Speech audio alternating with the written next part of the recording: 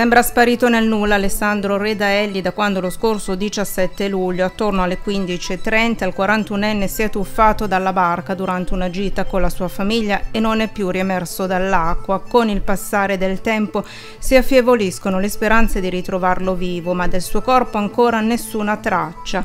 La tragedia è avvenuta all'altezza di Rovoltella, frazione di Desenzano del Garda, nel Bresciano, tutto davanti alla moglie Sabrina e ai due figli di 5 anni e di appena 6 mesi. Nonostante l'allarme sia stato tempestivo, il corpo di Redaelli non è stato ancora trovato. Tra le prime ipotesi, quella che l'uomo si sia sentito male una volta in acqua e che non sia stato più in grado di ritornare a galla, ma ancora nulla. Certo è che nel punto in cui si è tuffato l'acqua era profonda e le correnti sono sono solitamente forti. Per le ricerche sono stati impegnati anche strumenti sonar e un veicolo subacqueo ROV.